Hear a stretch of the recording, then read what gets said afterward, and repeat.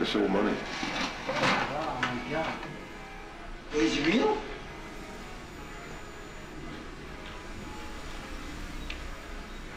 This Lady Di instead of the Queen. It's so cool.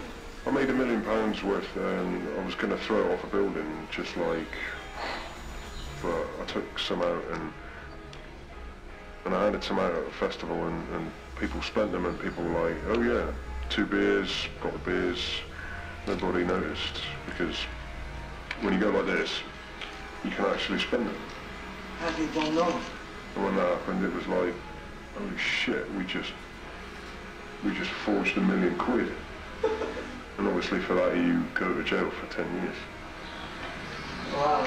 So I have them up here, but I don't know what to do with them. You find it here?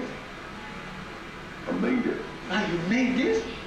For fuck's sake, I printed it. Oh my God.